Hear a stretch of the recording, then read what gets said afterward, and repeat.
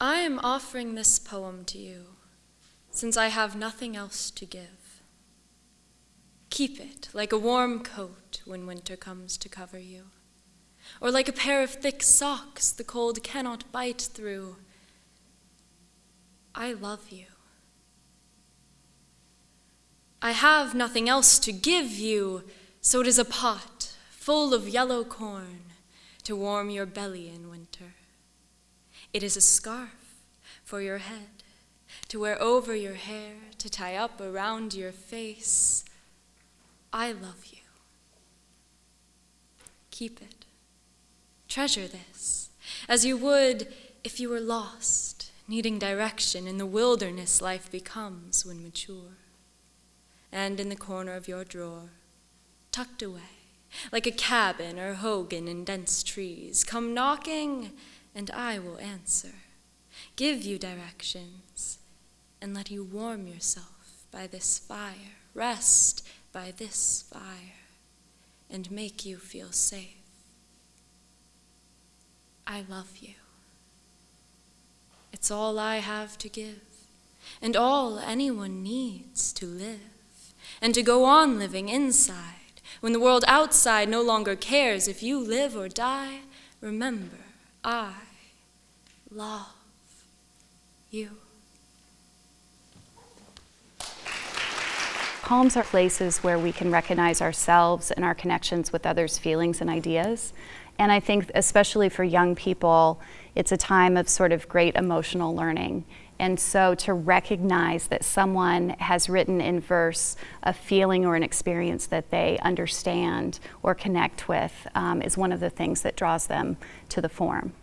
We all live our daily lives, for the most part, in prose. We communicate in our mundane way, hoping that maybe what we say gets through, and hoping that some of what we say gets listened to without really knowing whether that's true or not. But you invite us with your poetry to communicate and to connect in a more complex and meaningful level. Testing. One, two, three. One, two, three, testing. One, two, three. How you guys doing? The winner will advance to the state finals. With wonderful, deathless ditties, we built up the world's great cities. And hot music shakes the windows up and down the block.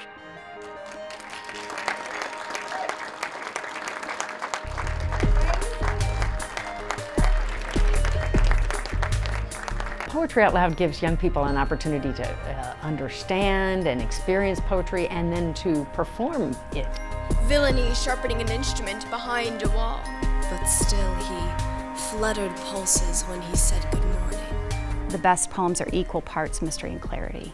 Poetry is the music of words. And the child lies back, his thumb a hummock, his small knuckle buckled with cracks. Not only to understand the poem, but then to figure out how to convey it physically and verbally. And then when I want to add inflection and passion into it, that's when I start reciting in front of the mirror.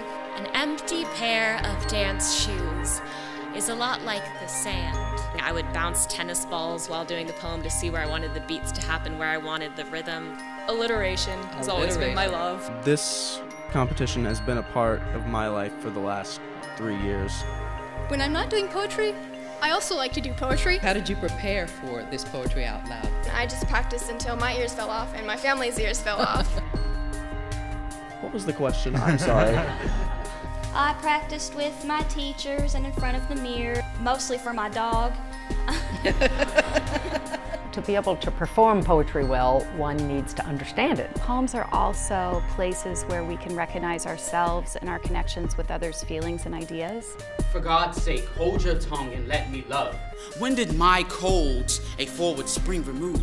I love people who stand up for what they want or stand up for what they believe in, and I feel like that was very powerful throughout the poem. We've seen a wild variety in terms of subject, um, in terms of tone, in terms of time period. That's how you stay in style, without sticking and not getting stuck. Star followed star through boundless regions on.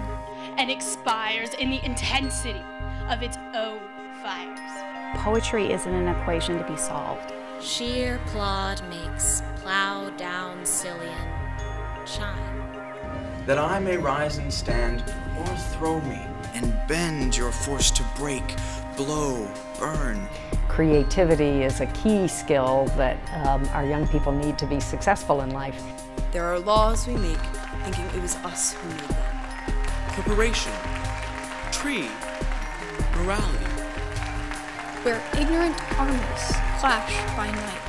It's a great opportunity for young people.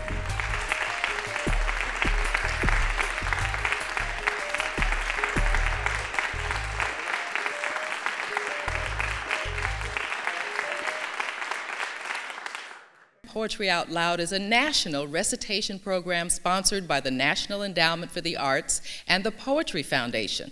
And each of today's contestants started in the classroom uh, level and they competed at the school level to all the way to representing their schools today or their organizations uh, through a pyramid competition structure. The winner and runner-up today will advance to the state finals to compete on Friday, March 13th in Richmond, Virginia for the title of state champion. Poetry Out Loud provides students an opportunity to master public speaking skills, to build self confidence, and to learn about their literary heritage through classical and contemporary works of poetry.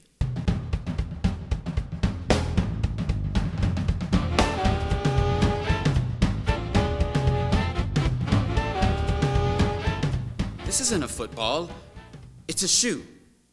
A man's brown leather Oxford. A cousin to a football, maybe. The same skin, but not the same. A thing made for the earth, not the air. I realize that this is a world where anything is possible. Well, it's definitely a performance skill. It really is uh, um, an ability to um, act and, and share, uh, not only to understand the poem, but then to figure out how to convey it physically and verbally. So, how did you prepare for this Poetry Out Loud? I practiced with my teachers and in front of the mirror and with my parents and mostly for my dog. and just kind of got their feedback and took it into consideration. I'm really interested in the feedback that your dog gave you. I don't really know what else I did aside from practice it. Um, Learn how to relax? Yeah, that, that, that, that does help, learning how to relax. First, I go through all the poems, um, or a lot of the poems, and read them and see what touches me